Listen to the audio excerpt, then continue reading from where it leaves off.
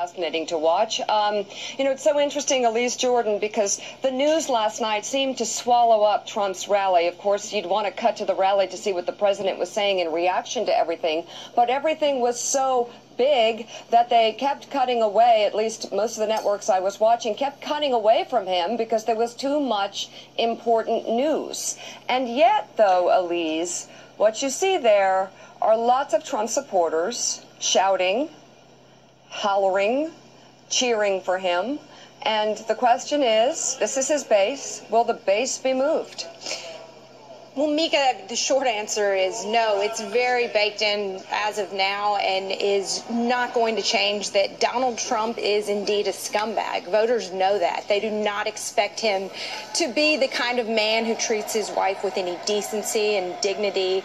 And that is a known and isn't going to necessarily move the most hardcore voters. However, I would say that you have a lot of women voters who aren't exactly happy to have ever had to vote for Donald Trump in the first place. They just were not necessarily fans of Hillary Clinton. And while they might have voted for Donald Trump, this isn't the kind of behavior that makes them excited to keep supporting his party.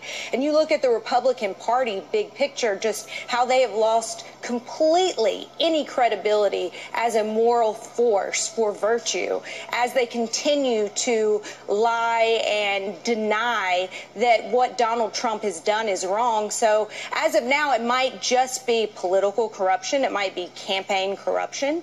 But you look at what there is to come and still looming, especially with Mike Flynn, and we still have no idea what uh, Mike Flynn had, what he has to say, what he told Mueller's team in order to get such a great deal. There are so many unknowns that this is really just the tip of the iceberg.